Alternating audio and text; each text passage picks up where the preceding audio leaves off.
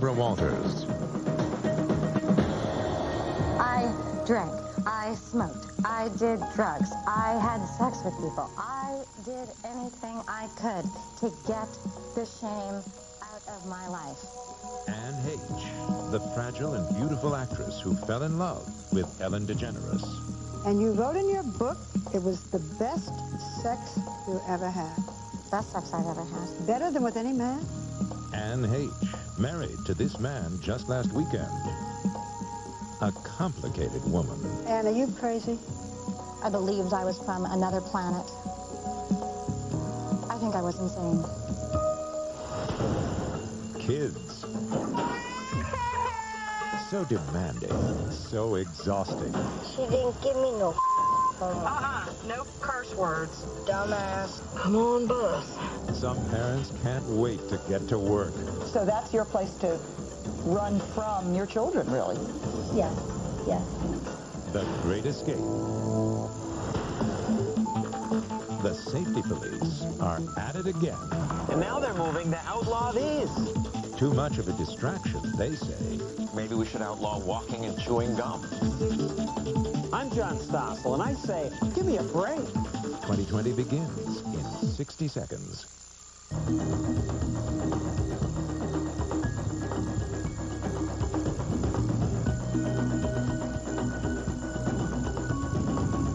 And now, from Times Square in New York, Barbara Walters.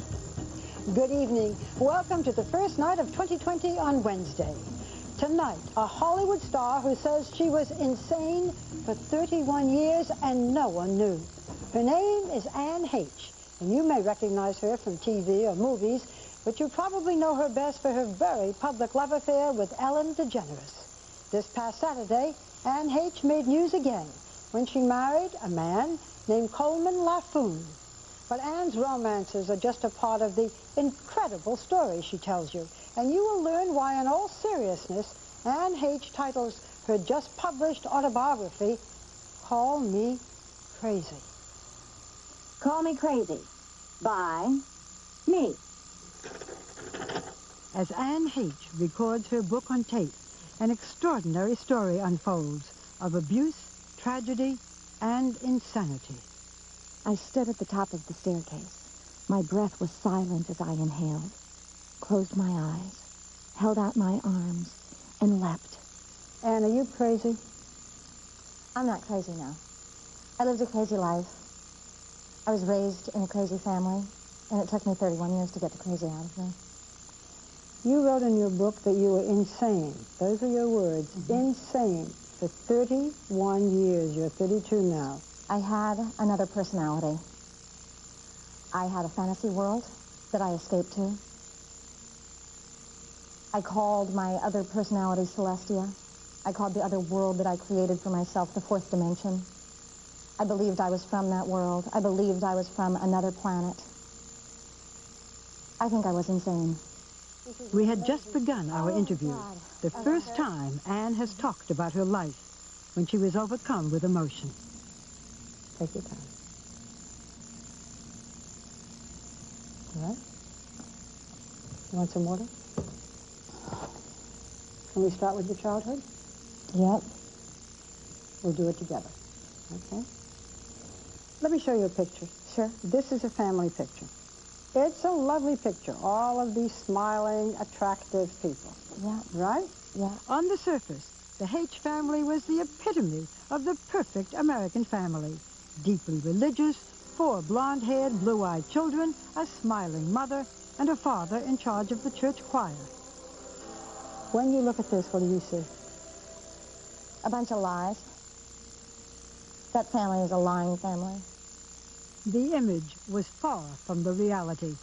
Don Heche, the choir director, was, according to Anne, an abusive father, chronically unemployed and leading a bizarre double life. At that time, my father had AIDS. We were uh, almost homeless. About a month before we became homeless, we took that picture. We were a disaster. How can a mother not know that her child, her young baby girl, is being raped by her husband? How can a mother not know? When does a mother break the rules? Any abuse is horrifying, but this was something very different. You talk about it in your book. Can you talk about it now? Sure. I, I can tell you what I know. Okay. I believe I was sexually abused by my father from the time I was a very young girl, actually before I could speak, up until the time I was 12. How did he abuse you? In my memory, he raped me. He stuck his in my mouth. He fondled me. He put me on all fours and had sex with me. When you were a toddler? In my memory, yes. My father would always undress in front of me, beckon me to bed as if I was his lover. I remember entering the bed with him many times. Did your mother know? I can't say whether or not my mother knew. you Um, never told her. I did not tell her until I was in my 20s. I had herpes from the time I was a very young girl.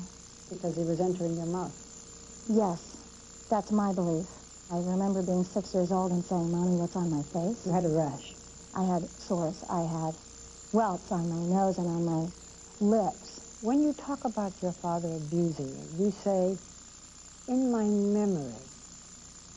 Does that mean that there's a possibility that it didn't happen? I think it's always hard for children to talk about abuse because it is only memory. But I didn't carry around a tape recorder. I didn't chisel anything in stone. And I think that's part of why people don't talk about abuse because anybody can look and say, well, how do you know for sure? And it's one of the most painful things about it. You don't. There's a place for us, a time and place for us. Somehow, someday, somewhere. When you were 10 and your father had no money and you were kicked out of the final home because there were many homes that uh, your family lived in. Right. We got home from school. We had been boarded out of our last house. We had yellow tape on the door saying, keep out, no admittance. And we were homeless. The Heche family spent two years living with neighbors. Finally, Anne's mother threw her father out. Free of his wife and children, Don Heche moved to New York. The family was shocked when they realized that their church-going father was wildly, flamboyantly gay. It was the 80s, and Don Heche was embracing the unfettered nightlife and unprotected sex of the time. Sometimes we would be walking arm in arm, and he would collapse on the curb, unable to get a breath. He would promise me that nothing was wrong, and then he'd disappear for hours at a time. Dad died on March 4th, 1983. He was one of the first cases of AIDS diagnosed in the United States. When you learned that your father had AIDS, did you think, I might have AIDS? Absolutely. But I thought I was going to die. The illusion was no more. The perfect family had collapsed, and Anne would spend the next 20 years in a tortured search. I think everything I've done in all my insanity was trying to get my parents to love me.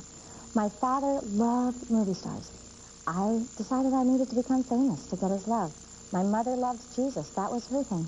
So I wanted to become Jesus Christ. I wanted to save the world to get her love. I went to the utmost of extremes. A movie star to get your father to love you, Jesus Christ to get your mother to love you. Absolutely. It was a race. I, I had them neck and neck. I would do anything I possibly could. Just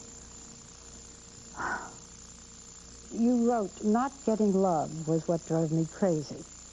Many people don't get love, but they don't go insane.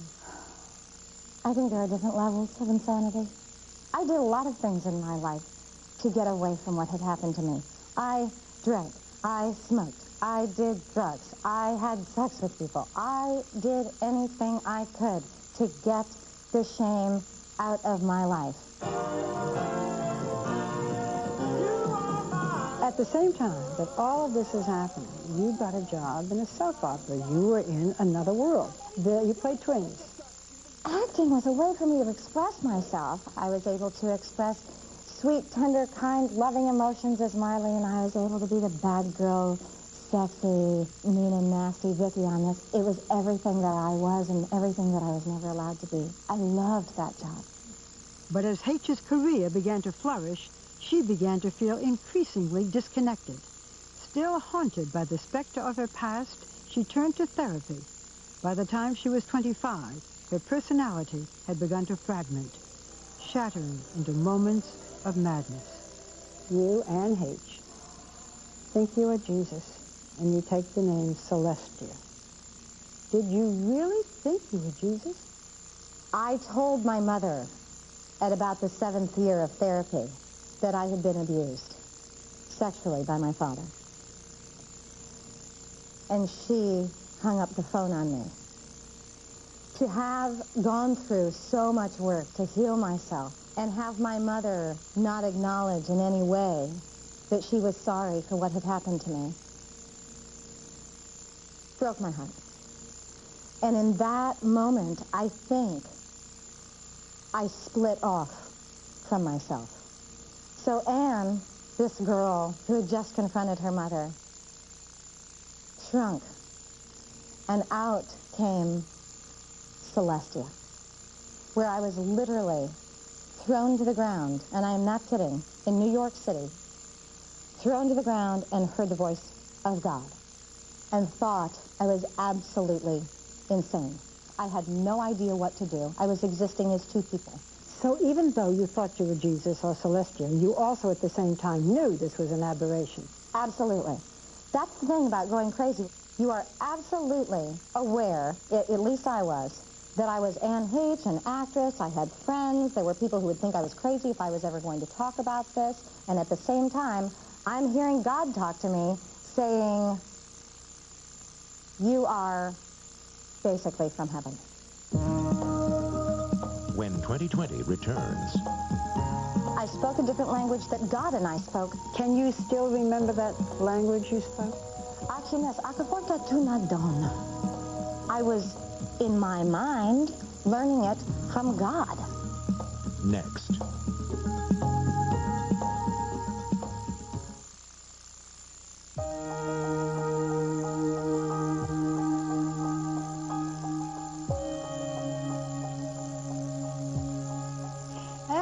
Anne Heche has always been unpredictable.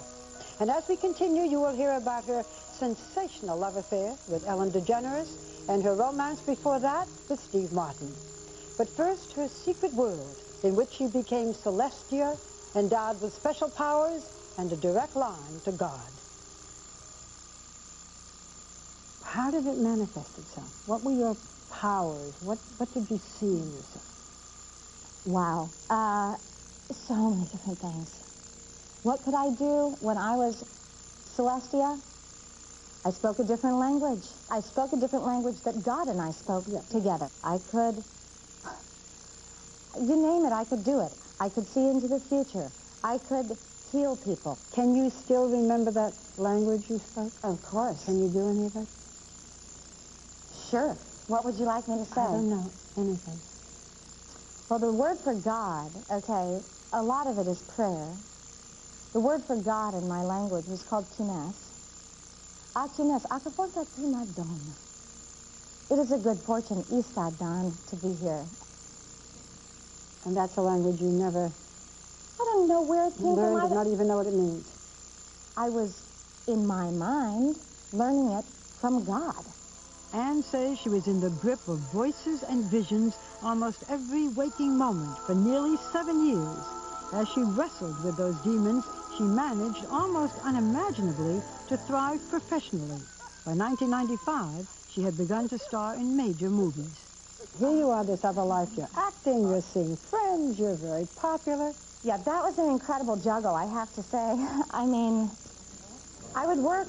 I would do normal things. I did Wag the Dog. I was meeting the most incredible actors of my life. I couldn't believe where my career was going. And then I would go into my trailer and have to write down messages that I, I believed I was hearing from God about love. You go in your trailer and you're a whole other person. You close the door and you're a whole other person. You're Jesus. I'm Celestia. Well, Celeste